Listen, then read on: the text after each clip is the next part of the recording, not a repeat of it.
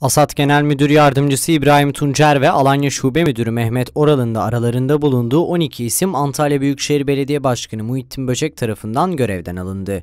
Değişimin ardından Alanya'da aynı birimde çalışan teknik personel Ümit Demirel'in atama işlemi tamamlanarak müdür pozisyonunda ilk mesaisine başladı.